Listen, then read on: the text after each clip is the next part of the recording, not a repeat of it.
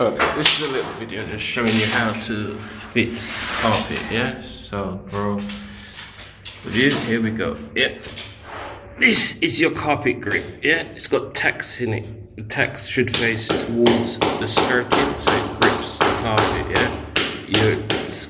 Your um, carpet grip, yeah, should be about a quarter of an inch from your wall. Yeah, you just tack it to the floor or you put some glue down just to help it stick depending on the surface you have. This is concrete, so you use the glue and the tacks. Yeah, so we've done that. Going around here. There you go, quarter of an inch roughly, yeah? And then we're gonna put it on the underlayer afterwards. So it's a simple case of putting it down, tacks facing the wall, glue down, glue down, start again. Yeah. First you put your glue down. Yeah, here we go. See? We've glued it, yeah. Then we get our carpet grips, nails facing to the skirting, and we tack it down. Yeah, quarter of an inch should be sufficient. Yeah. Okay, there you are. Our carpet grips down. Yeah, basically a coming long strip and you just need uh, side cutters, tin snips, not tin snips, sorry, you just need some type of cutters, scissors, whatever you use cut it, axle, it's entirely up to you. And you just tack it down roughly a quarter of an inch around the square sides.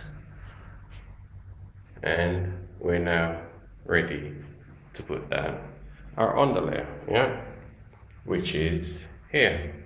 Yeah, so we're gonna press that open and put that down, and I'll show you as I go along. We've got our carpet grips on, and we've got our um, underlayer on. Yeah, now you can see it just fits just inside your carpet grip. Yeah, and you can put glue on it to help it stay down if you like. It's not a must. Yeah. But if it's on a concrete floor, it's advisable. Yeah. Bits like this you can just join. Yeah. There you go. Okay, once you get your carpet roughly laid out in your room how you want it, you then gotta cut your corners out. Basically just do a bit like that so it sits in roughly where you want it. Yeah, around there. This will take a bit of practice to get it right. Once you got your carpet down, laying out, corners cut, and you need your stretcher. Okay, this is your carpet stretcher, and the way this works, it's got teeth in it.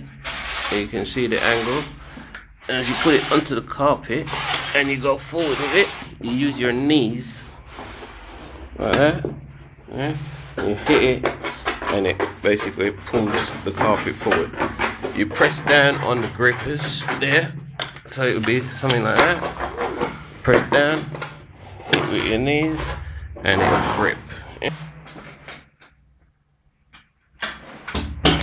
Yep. Once you've got done that, you then need your bolster and you just basically mark it along. There you go. So when you're cutting there, because you left a quarter of an inch behind there, you need to leave a quarter. Yeah, to tuck it there. There you go. That's how you cut the carpet. Press your carpet down in between the corners and wipe it along as you go. Get your carpet in place.